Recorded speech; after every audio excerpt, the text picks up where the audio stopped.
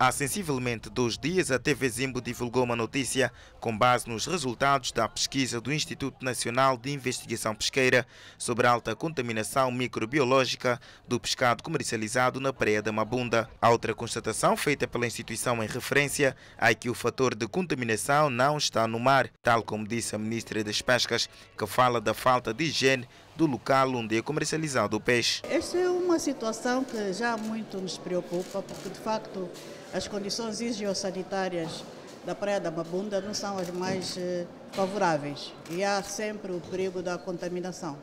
Os organismos estão a trabalhar, foi feito um trabalho de investigação e que foi apresentado. A responsável adverte que algumas medidas urgentes deverão ser tomadas para acabar com este cenário. Nós estamos a trabalhar não só com o Ministério do Comércio, mas também com o governo provincial, no sentido de dar uma solução no mais curto espaço de tempo à situação lastimosa que se vive na Praia da Babunda. Naturalmente, não está descartada a hipótese, inclusive, de fazer com que a descarga não se faça naquele local que atualmente não tem condições para o efeito. A ministra das Pescas falou, por outro lado, que os resultados da pesquisa sobre o índice da biomassa revelam melhorias do nível do carapau, apesar de haver ainda uma baixa considerável.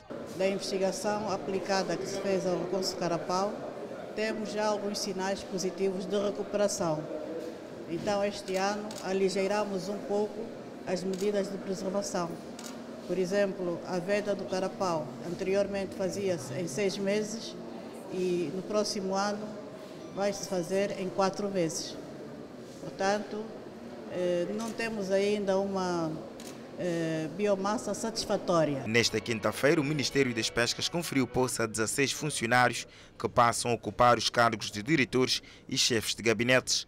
Os recém-possados foram chamados a cumprir as novas tarefas para o alcance dos objetivos traçados pelo Ministério.